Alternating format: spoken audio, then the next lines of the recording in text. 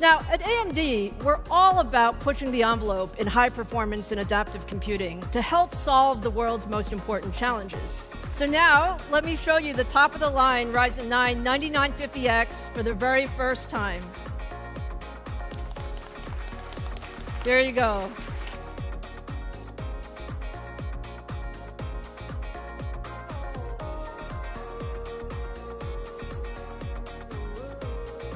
And what, the other thing that excites me really is that these powerful NPUs then free up the GPUs and the NPUs for workloads where they shine. So I'm, I'm excited to see what developers will do with this.